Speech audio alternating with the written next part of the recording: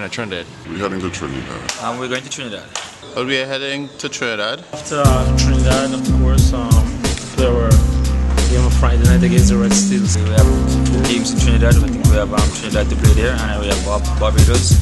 Good. Um, obviously, we were a little disappointed that we lost the game, but we're over that now. Um, I think it's important that we focus on what's ahead of us. For a collective effort, you know, that's what's going to bring us to success.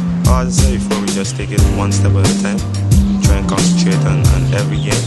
Any team lightly. The team spirit is, is still high. Um, you know, we we missed up in a bit in the last game, but you know that's just the game is. It's just a learning process. So I guess we're gonna use that as an advantage to move on to the next game.